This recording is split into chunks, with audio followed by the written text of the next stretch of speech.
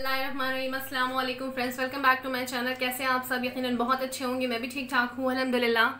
आज मैं आपके साथ रमज़ान स्पेशल सीरीज़ में शेयर करने जा रही हूँ कि स्ट्रीट फ़ूड की रेसिपी जो कि बहुत ही आसानी से बनती है और बहुत मज़े की होती है। बच्चों को, बड़ों को सबको बहुत पसंद आती है और आजकल इफ्तारियों में ज़्यादातर घरों में बनती है। मैं बात कर रही हूँ आलू के कचालू की रेसिपी की। आमतौर पे हम इसे हरी धनिया की चटनी वगैरह के साथ बनाते हैं या फिर पुदीना वगैरह के साथ बनाते हैं। लेकिन मैं आज आपको एक सीक्रेट इंग्रेडिएंट्स के साथ बनाना बता रही हूँ जिसकी जिससे आपका जो इसका आलू के कचालू का कलर है वो भी काफ़ी अच्छा आएगा और टेस्ट तो बहुत ही ज़बरदस्त होता है। बिल्कुल आप जो बाहर खाते हैं बा, बाहर ठेलों वगैरह पे मिलता है वो उससे लेकर के खाते हैं उससे भी बेस्ट टेस्ट होगा इसका।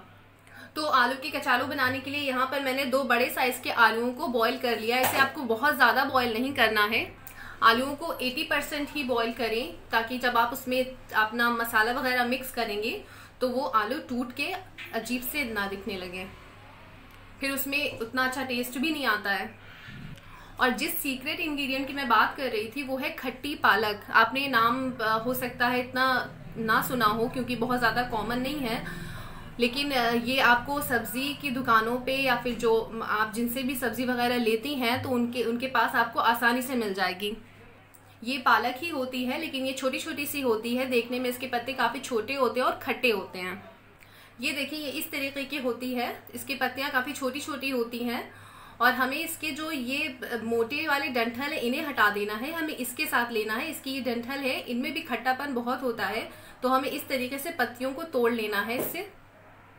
जैसे यहाँ पर मैंने तोड़ लिया है, पत्तियों को डंठल के साथ ही तोड़ना है, क्योंकि डंठल में भी काफ़ी टेस्ट होता है। खट्टी पालक को इसमें यूज़ करने का सबसे बड़ा फ़ायदा ये है कि इसके साथ आपको सिर्फ़ नमक और हरी मिर्च डालनी होती है और कुछ भी नहीं डालना है, इसके साथ कोई मसाला नहीं डालना है और टेस्ट बहुत अच्छा आता है। तो सबसे पहले हम इस खट्टी पालक में नमक और हरी मिर्च अपने टेस्ट के अकॉर्डिंग आप डालें। मैं अपने टेस्ट के अकॉर्डिंग डालती हूँ, डाल के इसे अच्छा सा फाइन साइज़ का पेस्ट बना लेंगे। ये देखिए, हमारी खट्टी पालक की चटनी बन करके बिल्कुल रेडी है।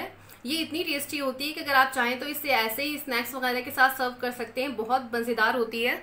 तो अब हम चलते हैं आलू के कचालू बनाने की तरफ़। यहाँ पर मैंने पैन को फ्लेम पे चढ़ा दिया है। अब हम इसमें थोड़ा सा ऑयल डाल लेंगे।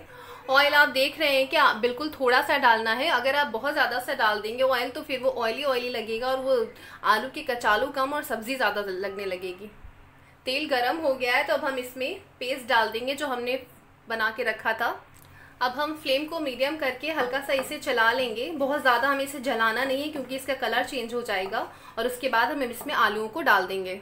अगर आपको खट्टी पालक नहीं मिल पाती है तो फिर आप अपने धनिया की चटनी जिस तरीके से बनाती हैं नमक, मिर्च और जो भी इंग्रेडिएंट्स लहसुन वगैरह डाल करके वैसे बना लें और उसके बाद इसमें सेम प्रोसेस कंटिन्यू करें आलू की कचालू की।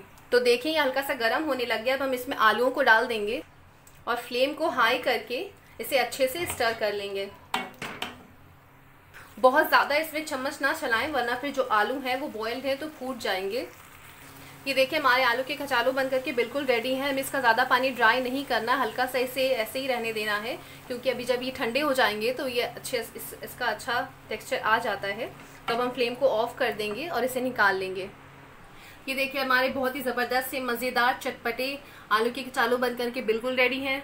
आप इसे ज़रूर से ट्राई करें। रेसिपी अच्छी लगी है तो लाइक करें शेयर करें फैमिली एंड फ्रेंड्स के साथ। अब तक आपने मेरे चैनल को सब्सक्राइब नहीं किया तो ज़रूर से सब्सक्राइब कर लें बेल आइकन प्रेस कर लें सेलेक्ट ऑल कर लें ताकि मेरी सारी की सारी वीडियो अपडेट्स आपको मिल सकें। इस रेसिपी को ट्राई करके मुझे कमेंट करके ज़रूर से बताइएगा कि इसका रिज़ल्ट कैसा रहा। अपना ढेर सारा ख्याल रखें, मुझे दुआओं में याद रखें। अल्लाह आपको ढेरों खुशियाँ दें। अल्लाह हाफिज़।